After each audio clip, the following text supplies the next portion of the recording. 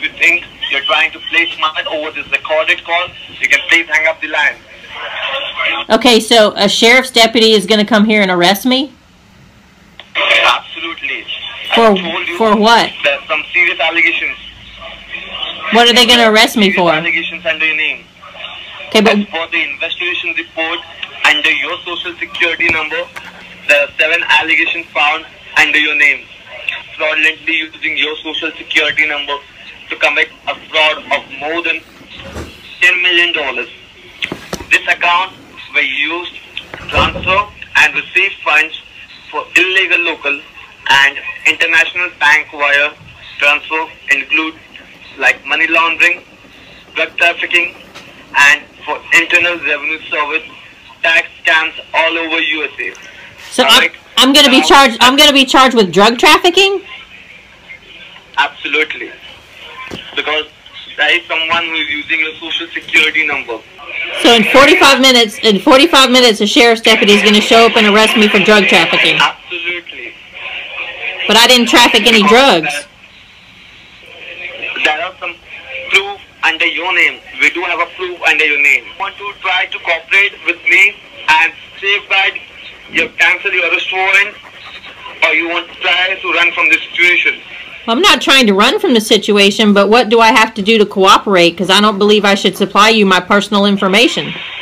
Listen, I'm not asking you any personal information. Your call has been transferred to the senior investigation officer. My name is Officer Jason Brown. How are we doing today? I'm, I'm good. How are you?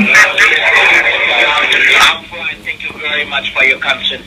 Now, you are speaking to one of my junior officers regarding a case, correct? That's correct. And you told my officer that you want to speak to a senior officer, correct? That's correct.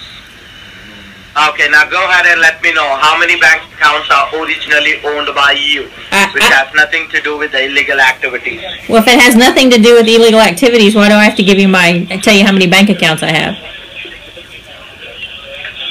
See, if, if you do not tell me how many bank accounts you have, we'll go ahead and suspend all the bank accounts which are connected to your social security.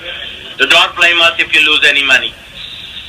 We are trying to help you out over here, okay? Uh, well, I just don't understand how giving you my. I would like to know what the allegations are against me and what you're going to take out a warrant for. Right now, there are two criminal charges against you. Number one, drug trafficking, and number two, money laundering. Well, Okay? well, that's better than the 25 the first guy told me were out against me.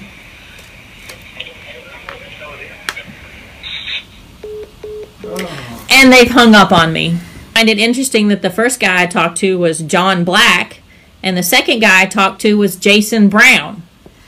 So, folks, these are scam calls. Don't ever give out your information. Don't ever verify information, even if they have it. That information can be found on the web about anywhere. So, don't ever verify it. Don't give them personal information. Don't verify the last four of your social, your date of birth, bank account information, nothing like that. They're all scammers. Just hang up on them or have a little fun.